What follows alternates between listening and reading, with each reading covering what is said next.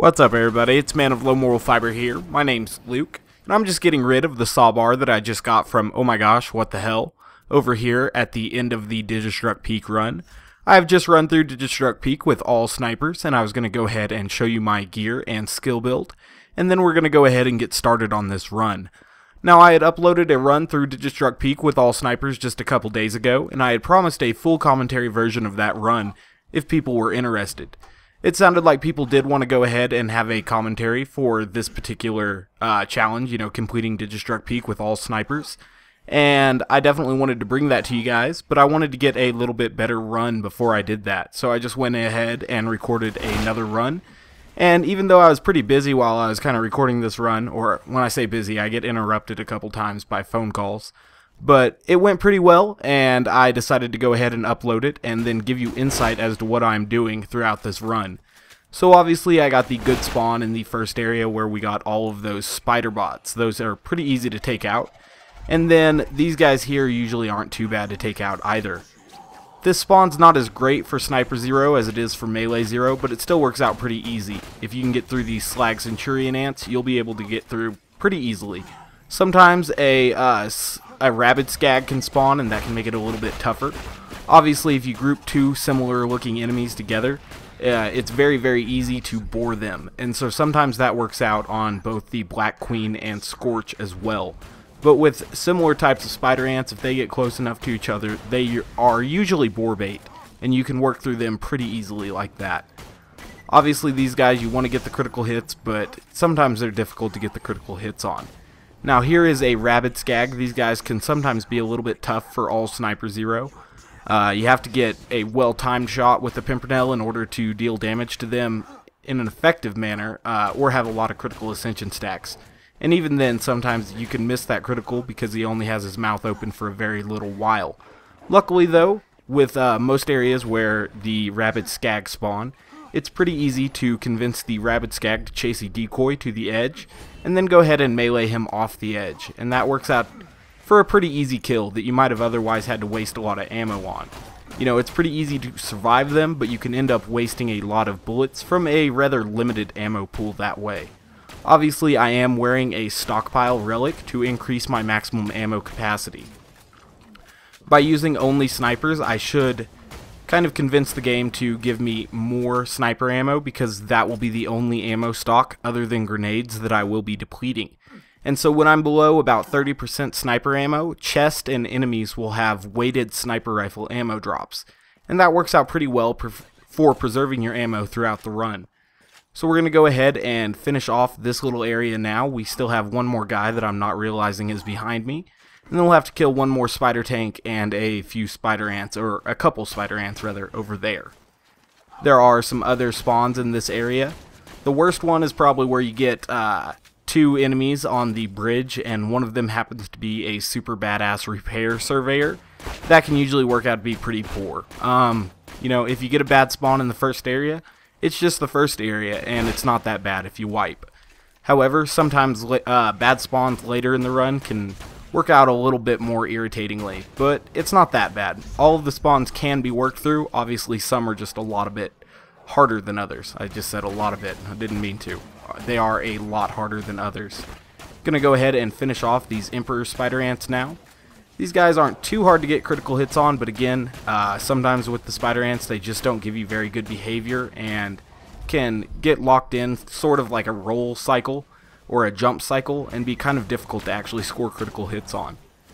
With the spider ants, even though I am not spec'd into melee when they are, uh, I mean other than killing blow, when they are in killing blow range, if you get a good execute on their butt or their critical area, you'll be able to kill them very easily. And I've even had that work on the Black Queen when I've been out of ammo, and Scorch once as well.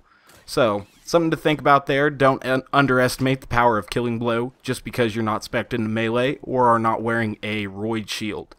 I'm going to take this opportunity here to gather a little bit of ammo to make sure that I will have enough ammo to get through the next area. Especially if we get the bad spawn in the next area, which we are going to, you're going to need a lot of ammo to get through these guys. I say this is the bad, the bad spawn because it is the one that spawns four surveyors with Scorch, and that's probably the worst spawn you can get in the peak, to be honest with you. Um, I guess some of the assassin spawns are pretty vicious as well, but I mean, four surveyors with double scorch and these turrets right away are kind of aggravating to me. Um, definitely not my favorite spawn. Uh, I'm sure there's someone out here who likes this spawn for some particular reason, but I think this is one of the worst spawns in the peak. First, you got to get rid of these turrets, deal with a couple nonsense guys over here, and then you can move on. But once you finally do kill all, all of these guys, there will be some surveyors that spawn up on the top ridge. And once you take those out, Scorch will spawn with four repair surveyors. And that's usually just a pain in the ass, but that's what happens here. And we get through it, you know, without too much difficulty. Luckily, there is quite a bit of ammo in this area. Before you come to this area, there's obviously those five chests on the other side of or I guess ammo crates they're called, not ammo chest. So there's five ammo crates on the other side of the big wall. Right before you get to that big wall divider though, there are also four ammo chests along the wall to the right. And then once you get in, right around the door to the right, past the jack uh, little placard, the little cardboard cutout, um, there are two more ammo chests, and then there are four more ammo chests along the left wall coming down from that first area. And then there are obviously four more chests down here at this little area as well. And so if you make use of all those properly, you shouldn't run out of ammo even if you get the bad spawn, with proper shot placement at least.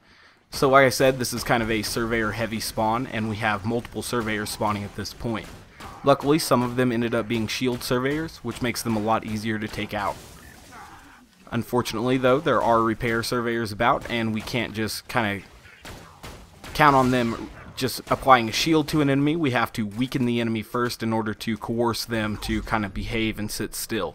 Now we only have two more surveyors left and nothing for them to repair or apply a shield to, so we're going to have to figure out a way to kill these guys. Usually to kill these surveyors, I just jump their shock attacks, slag them with the Pimpernel, and either lower their shield with the Slag Pimpernel or use the Shock Lyuda if I'm trying to do it quickly or just feel like I have enough ammo in this particular situation. So what I want to do here is take out this last one and then be at a point where I have at least enough ammo to take out one or two surveyors because I know that the four surveyors are coming. Uh, I should note that another common spawn is where no enemies spawn in the first half of this area and then a little constructor spawns up by the gate. I recommend using a Lyuda or other Vladof sniper rifle to go ahead and stack critical ascension off that guy. You can get up to about 40 stacks or 45 stacks even if you use a shock Lyuda. And that works out pretty well because then you can use those stacks on into Scorch and the other enemies that spawn after or spawn before Scorch rather, like Rabid Skags and uh, you know, there's a variety of things that can spawn, such as the Slag Centurion ants. Anyway, you can take those out pretty easily if you use the stacks you've accumulated from the surveyor that spawns up by the gate, and that works out really, really well usually. Obviously, I didn't get that spawn though, and I'm going to have to struggle through these surveyors. So what I'm doing is just distracting Scorch and then trying to kill these surveyors one by one. Obviously, it's kind of difficult, and I'd recommend trying to keep at least two of them in a group. Um, obviously, I didn't do that there. I went ahead and killed one from each group, so now we have two independent surveyors, as opposed to two that would kind of be potted together. However, they are kind of lining up at this point, and we've got them kind of grouped up, which makes it a lot easier. Use my Lyuda to deal a little bit of damage and kill this one. Unfortunately, Scorch is trying to troll me, but I was able to use Bore in order to go ahead and shoot behind him there and take out the Surveyor. Only one more Surveyor left now, and once we kill him, we can start focusing on Scorch. Scorch is definitely not as tough for Sniper Zero as he is for Melee Zero. He's really not that tough for Melee Zero with patience. However, uh, the damage over time from Scorch, which can sometimes be a little bit unpredictable because he can change his actions very quickly, uh, can be definitely a killer for Melee Zero. But as Sniper Zero, you don't have to worry about that quite as much because you're not spending as much time in melee range. What I like to try to do sometimes is to get them grouped together and then use the Lyuda to really kill one very quickly and it usually does a lot of damage to the other one as well. Plus it builds a number of critical ascension stacks that you can then use to kill the second one. Obviously critical ascension is absolutely necessary for sniping the peak, or at least, you know, the way I play it it is. because it definitely makes a huge difference and very quickly. Plus, as you will see later, it helps us get through the hard part of the map very, very easily. Gonna go ahead and finish off this Scorch now using a combination of Deathmark, Deception, and the Lyuda.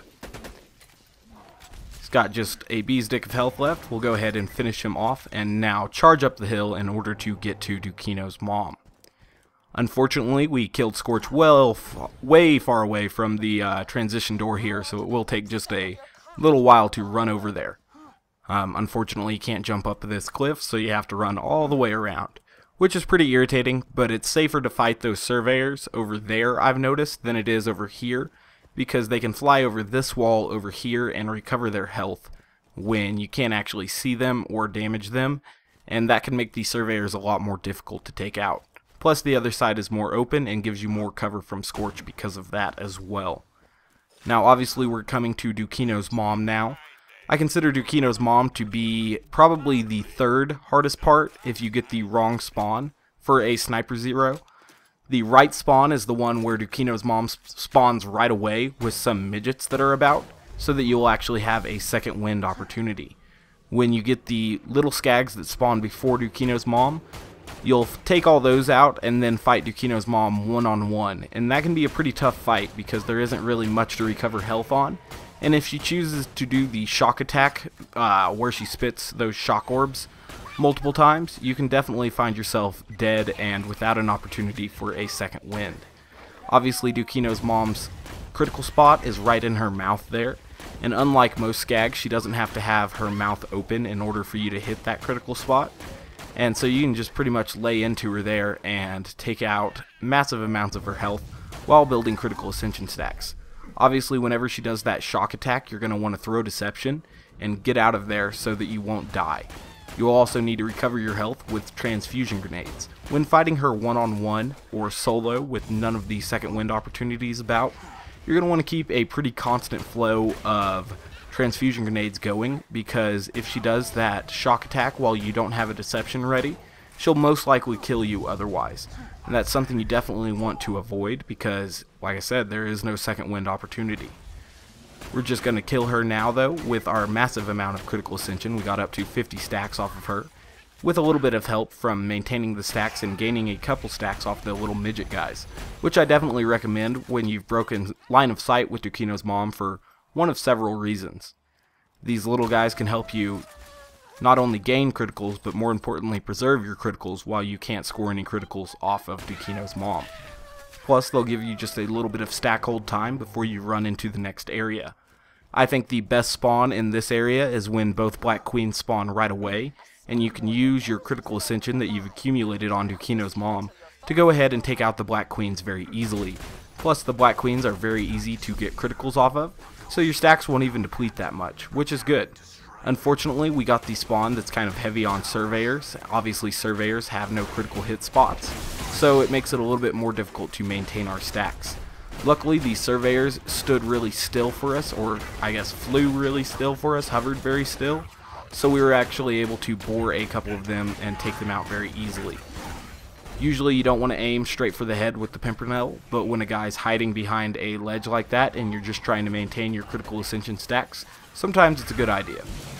So we're going to go ahead and finish off the rest of these guys here. Once you get rid of all of these guys and the surveyors, obviously the two black queens will spawn. And it's actually a pretty safe fight against the two black queens when there are no other uh, pyro ants that disappear or slag centurion ants about which can happen, but again, if you have enough critical ascension stacks, you can work through spider ants very easily because they are very easy to critical hit with the Pimpernel. Obviously, I had to pause here. This was something that I might have brought up a little bit earlier in the video. I got a pretty lengthy phone call there. I was on the phone for about 45 minutes, and then I jumped right back into this, kind of in a precarious situation. Threw me off a little bit, but it wasn't that bad. I still had a couple sacks of critical ascension, and only one badass enemy to kill, and then this Surveyor. And then we'll be moving on to the Black Queen, and we'll get to what I think is the most critical part of the run, the Bonehead section. And I'll explain that once we actually get there.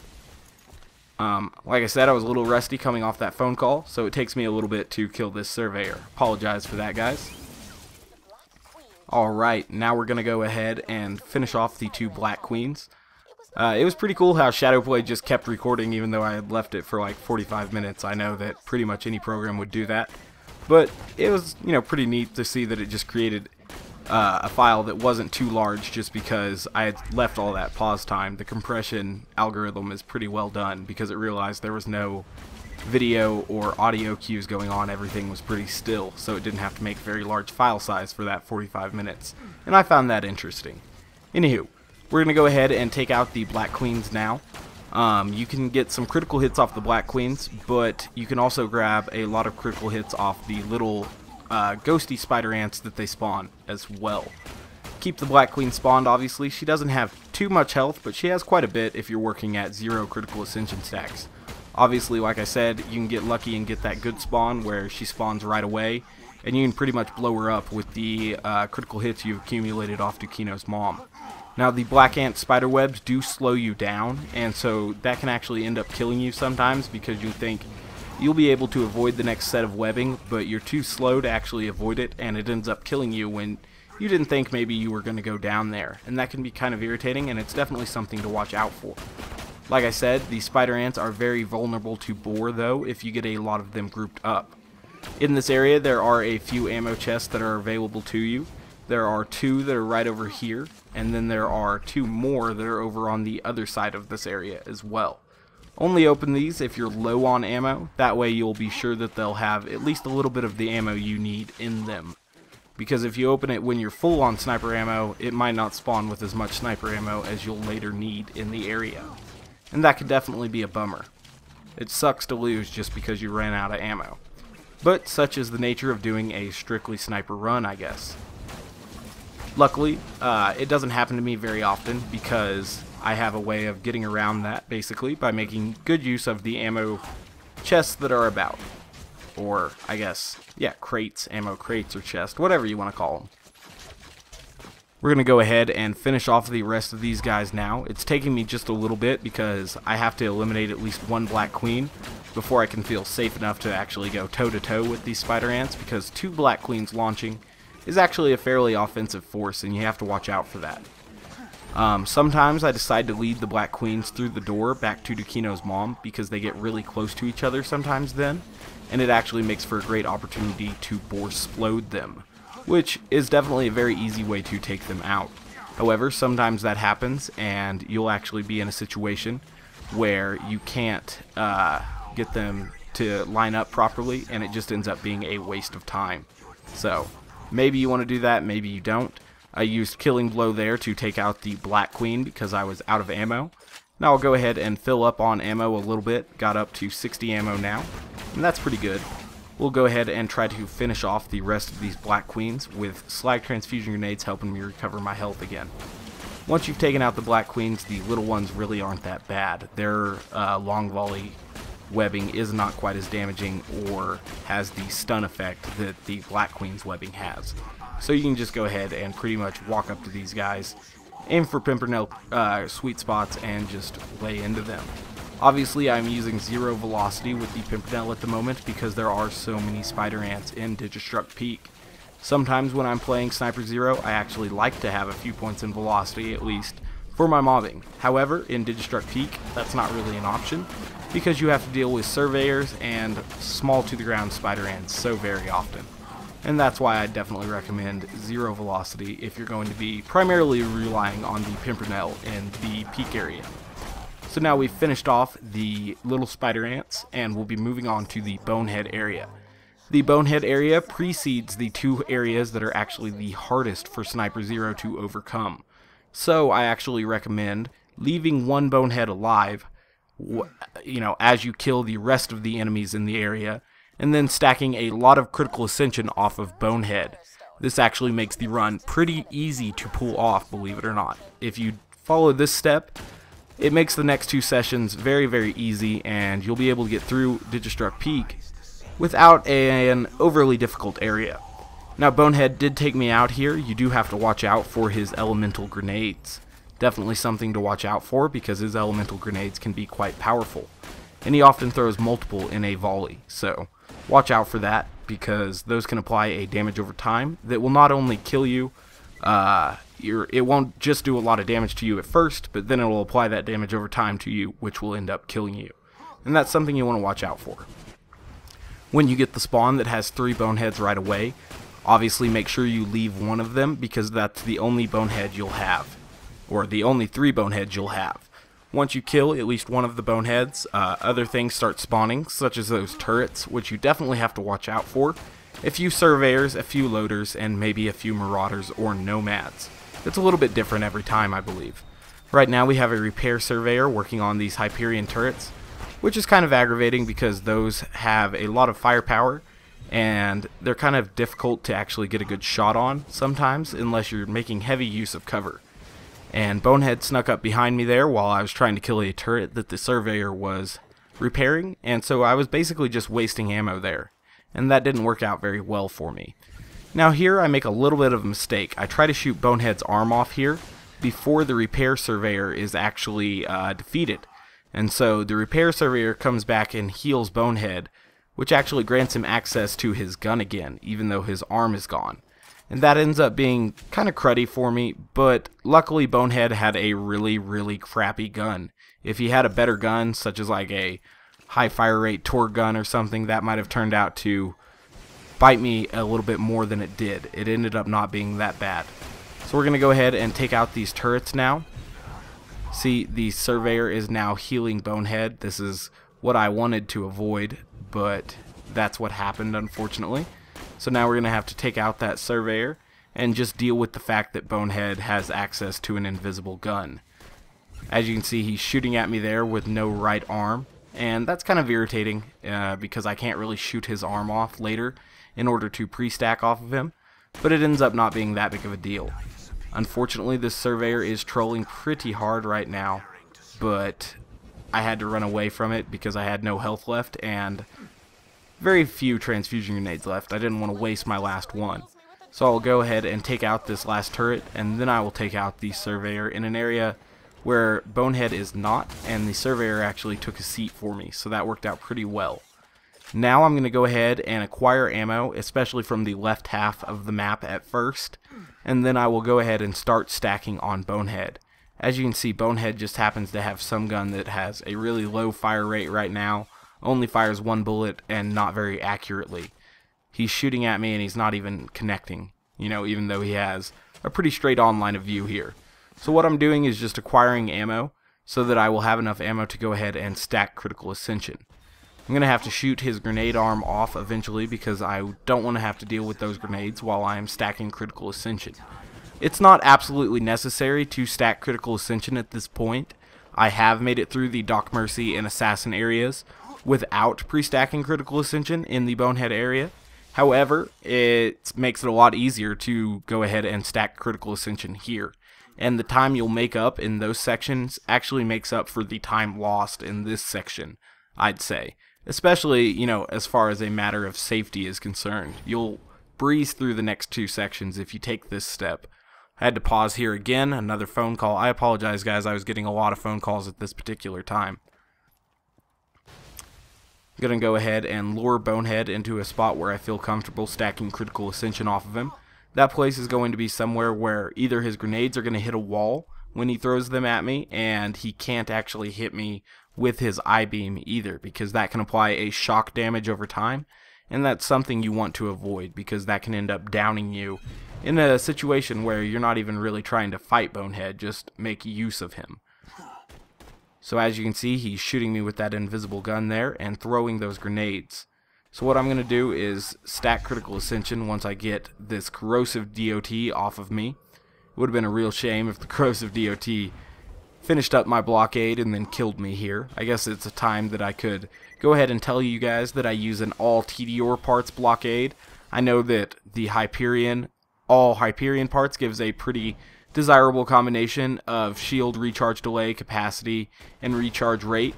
However, the Tediore, all Tediore version of it just gives a very good recharge delay. And that's actually what I look for in my sniper shield for zero.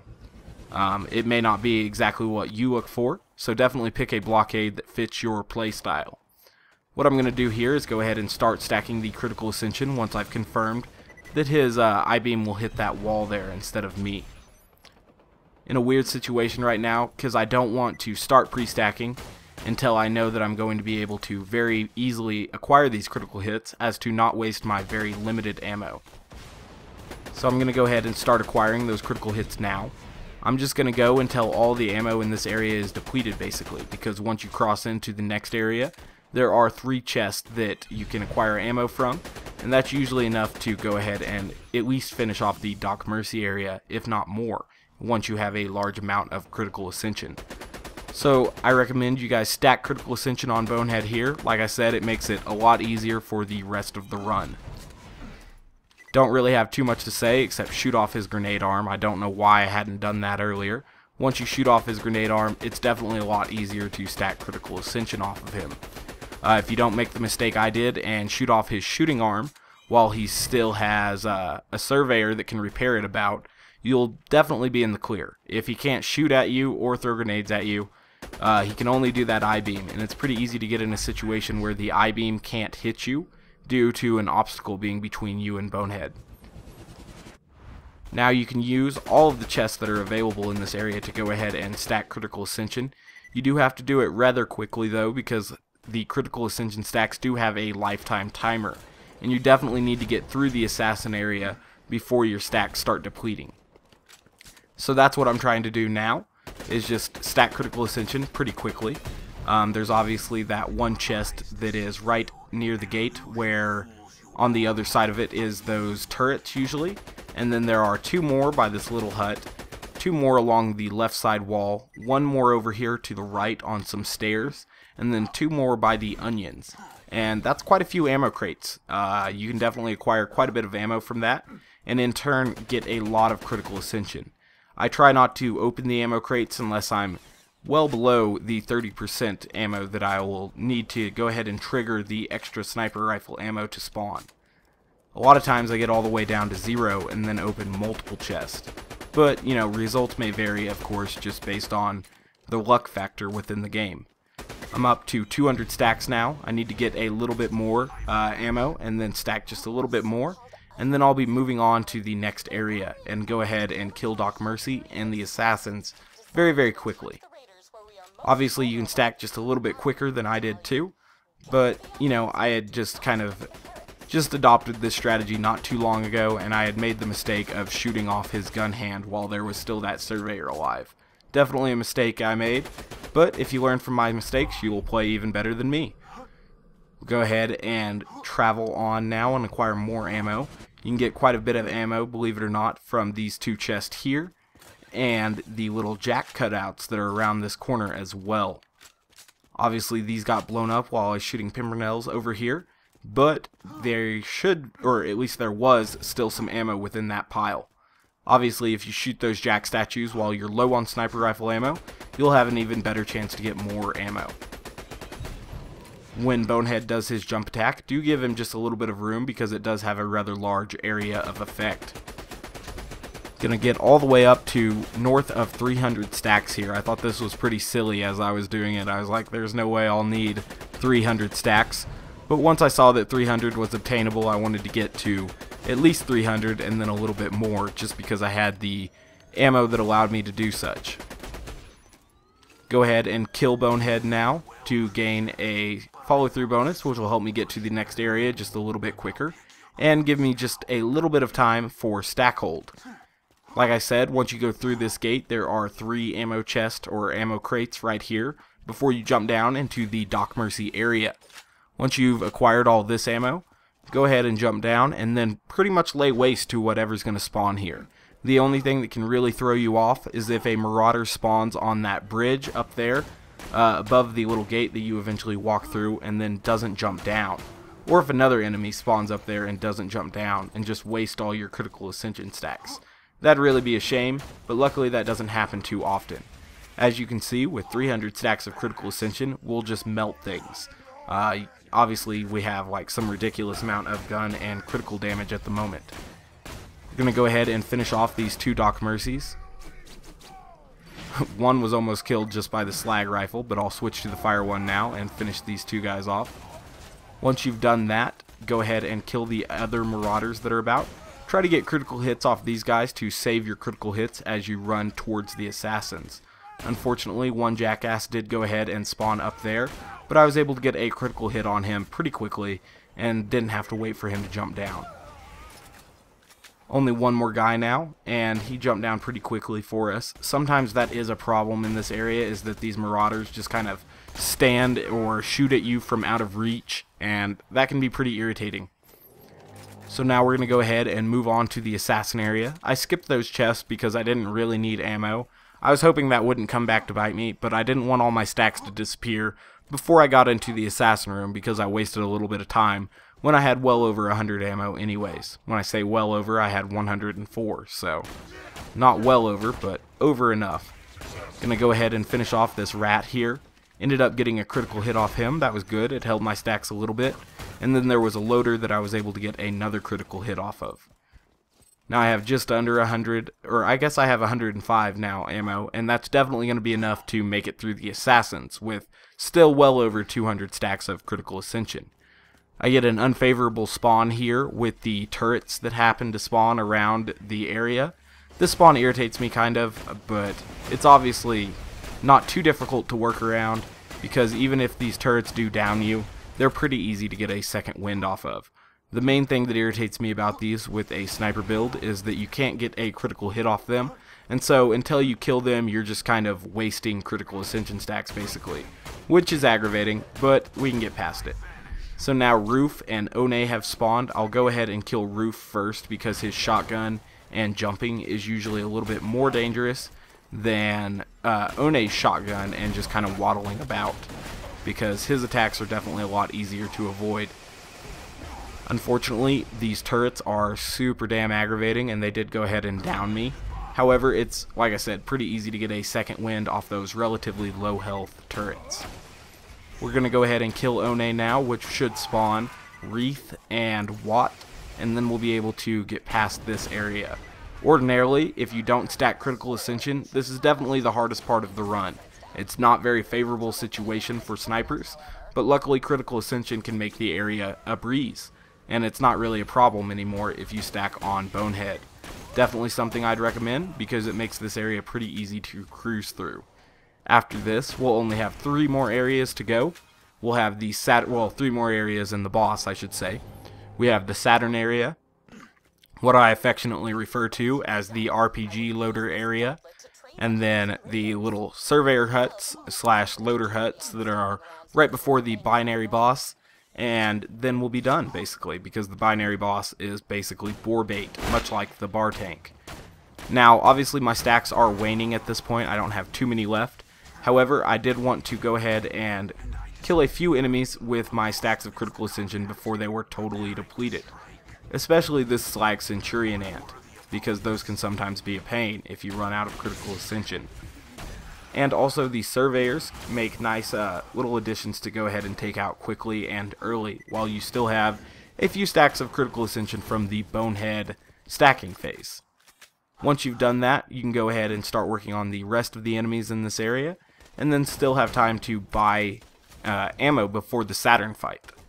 Now I do not use, obviously, a Bee shield at any point during this run, I notice a lot of zeros out there happen to use a Bee shield for the Saturn fight and only the Saturn fight, uh, you know, in the whole of Digistruct Peak, or sometimes just the Saturn fight and Dukino's mom. However, that's not really, you know, what I wanted to do. I wanted to do the whole thing with no Bee. However, if you want to use a Bee on Saturn, it will only accelerate things.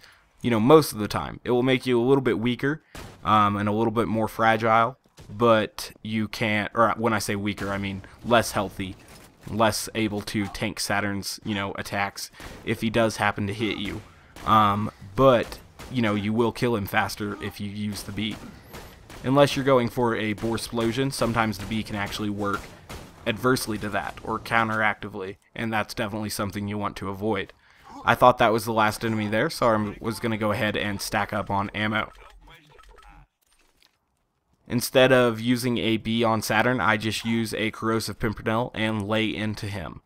Uh, some of the times, I kill Saturn very, very quickly. I end up getting a Bore Explosion that takes out at least one Saturn, sometimes two, very, very fast, and, you know, then I don't have to deal with Saturn anymore. Unfortunately, there were a couple more enemies down here that I will have to kill before Saturn summons. You should definitely take note of your position when you kill the last enemy in this area though, because Saturn spawns right away, or starts to spawn right away I should say. His turrets spawn right away and start shooting at you right away, and can easily down you. And that's definitely something you want to avoid, is being caught killing the last enemy in an area where you don't have any cover. So I decided to leave the last enemy as that surveyor so that I could get all the way up on the top of this ridge and then summon Saturn where I know I will be protected.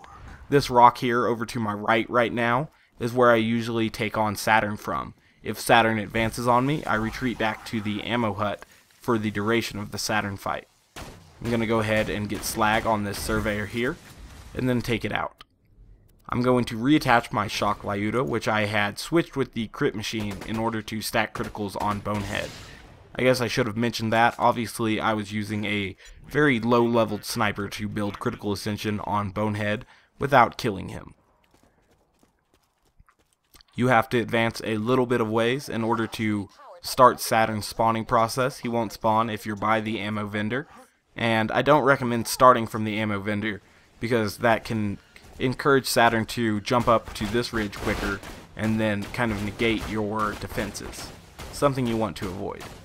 This rock works pretty well as an initial fighting point because those little death or kamikaze surveyors he has will fly right into the, wall, the rock wall and then not damage you at all. And that works out pretty well. So we're going to go ahead and work on Saturn now. I try to bore through the first Saturn to the back Saturn usually, and then try to hit the turrets on the back Saturn. Sometimes that doesn't work though, like this particular run, I don't do very well on Saturn at all.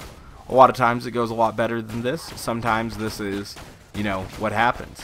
And when this happens, it's really not that bad. Saturn still isn't that offensively dangerous if you make very good use of the cover and he just happens to have a lot of health and no critical points. So he takes a little bit of time, but he's really not that difficult to take out. Obviously with Melee Zero, I only push him to about 30%, and then try to get a good execute that will kill him. Um, with Sniper Zero though, I do not believe Killing Blow without a melee shield, at least, will have enough power to knock out Saturn, and so I wouldn't recommend that. When one Saturn starts, you know, trying to climb up on you a little bit, just float back up the hill a little bit and hug the rock, and you should be able to avoid his hits pretty easily. When he does get up there, though, and you're feeling a little kind of closed in or surrounded by Saturn, run back to the ammo hut, and the walls of the ammo hut will actually protect you. Plus, there's an area to buy health in case you're below health gate. I'm going to go ahead and switch to a corrosive relic now since I'm right by an ammo machine and I'm not really worried about ammo. The Corrosive Relic will just give me a little bit of extra damage. The Saturn I was worried about hasn't made it up the hill yet, so I'm going to focus on Lower Saturn for the time being, until Upper Saturn makes himself known again, and then I will kill him. You can use either side of the ammo hut to peek out on. I prefer the right side, I think it protects from the surveyors just a little bit more, but the left side has served me well as well. Sometimes I alternate sides so that I don't get my bullets blocked by the surveyors. As you can see, Upper Saturn has made himself known again, and we need to kill him before he advances too far this way to where our cover becomes meaningless. I'm going to go ahead and get Deathmark on him because Deathmark will increase my damage. However, I do want to watch out that I don't get caught in his electric beam while I throw my decoy and try to grab that, uh, I guess it's called the Deathmark bonus. Now we're going to go ahead and finish off lower Saturn now. Like I said, if you were using a Bee at this point, it would just be going faster than I'm doing it. But I wanted to make it through the whole run without using a Bee, obviously. You know, I just don't really like the Bee ordinarily. Um, obviously it has its uses, but I find it more enjoyable to play mobbing situations without the Bee, personally at least. Gonna go ahead and finish off this Saturn now, and then we'll be moving on to the next area which I call the RPG loader area because it's always, or at least it almost always, spawns several, or up to a handful, I guess, RPG loaders, which can be quite irritating because if they spawn with E-Tech launchers, they have a large area of effect that can definitely be a problem. Went ahead and reattached my stockpile relic there for extra sniper rifle ammo, and then bought more ammo so that I'll have enough ammo to go ahead and make it through the last two areas and then the binary boss. Obviously, there is a, a third ammo machine on the run in the second to last area, or the last area before the boss at least. So I really don't need that much ammo, especially since there are multiple ammo chests and Saturn's ammo drops, which I assumed contained some sniper rifle ammo um, on the way. However, you know, it's pretty easy just to buy ammo from that ammo machine, and so that's what I did. Luckily, this little corridor here works very well for defense against these RPG loaders in the RPG loader area because there is that gate there which you can use as a good diversion. Also in this area that will spawn are turrets up on the little ridge over there. Uh, you might be able to hear my dog having a bad dream in the background. If so, I apologize. Um, anyway, I feel bad for him now. Uh, the RPG loaders have already started spawning. Like I said, this gate works very well for protecting against their uh, rockets. And I definitely recommend hiding in this area rather than charging out into the fray there because those RPG loaders, if they spawn with E-Tech loader or E-Tech launchers, or I guess also these bandit spread launchers, can be very very dangerous. And definitely just take your time and take them out with the Pimpernel. So now there are going to be some turrets and everything else that spawn, and we'll have to be careful for those as well. Looks like we have another warloader over here, and then probably another RPG loader up on the stairs. Or the right side stairs, at least. Yep, and it's one with a damn E-Tech launcher, too. You definitely have to watch out for those guys. Luckily, he was partially obscured by that hill, and so he wasn't able to get too many rockets sent my way. Um, even though I was behind cover there, the blast radius on those E-Tech launchers sometimes gets me if I'm too close to the cover. Like I said, definitely watch out for those rocket loaders. They're the toughest part about this area. Especially as Sniper Zero, anyway. As Melee Zero, uh, with the multiple Many Must Fall deception decoys, you can kind of trick them and get around them a little bit easier than you can with Sniper Zero, where they kind of flank you pretty easily if there's more than two of them. Which is definitely the case sometimes in this area. Now that we've killed the turrets, there will be two slag skags that spawn, and then a couple surveyors as well. Obviously, we'll hope those surveyors end up being shield surveyors as opposed to repair surveyors, and it looks like they both are uh, shield surveyors, albeit one of them a badass. Because they're shield surveyors, they're a lot easier to take out than they would have been if they were repair surveyors. We went ahead and finished those guys off, and now we're going to also use the same gate that we used to protect us from the rocket loaders from the slag skags, because their slag balls travel in a parabolic arc, and it hits that little gate that's up in the air a little bit, and you'll be able to kill these guys pretty easily as a result of that, without them even being able to do damage to you. They almost never actually run into this area, so you'd make use of this area and kill these guys pretty easily and without danger. Which is a good thing, because sometimes two slag dogs can pose a threat. Um, sometimes they actually group up and make for easy bore bait, but that was not the case this time.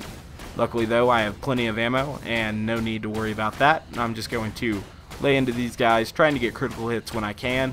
But if I can't, you know, the Pimpernel's just raw firepower and damage will eventually wear him down.